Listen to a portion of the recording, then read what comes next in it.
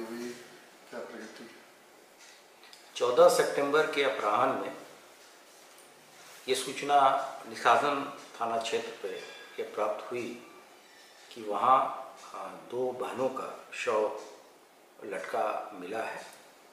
वहाँ तत्काल पुलिस वहाँ मौके पर पहुँची तथा जो मृतका हैं, उनकी माता जी के कंप्लेन पर मुकदमा दायर किया गया।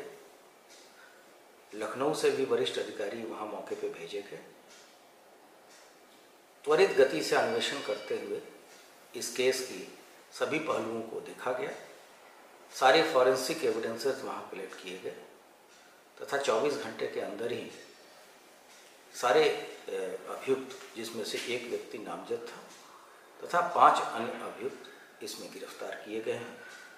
और उसमें एक अभियुक्त घायल भी हुआ है, पुलिस कार्रवाई में। इस संबंध में पोस्टमार्टम की कार्रवाई पूर्ण की जा चुकी है।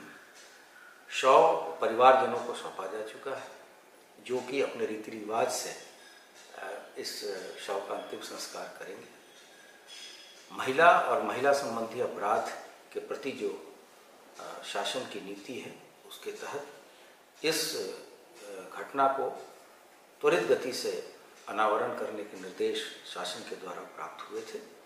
मेरी सबसे अपील है कि इस संबंध में, महिला संबंधी अपराधों के प्रति सभी लोग अपने, पीड़िता को अपनी माँ, अपनी बहन और अपने बच्चा समझ के पूरी संवेदनशीलता दिखाएँ तथा हमेशा विक्टिम और ये विक्टिम की फैमिली का जो वर्षन है, उसी को सर्वमान मानते मानते हुए आगे की कार्रवाई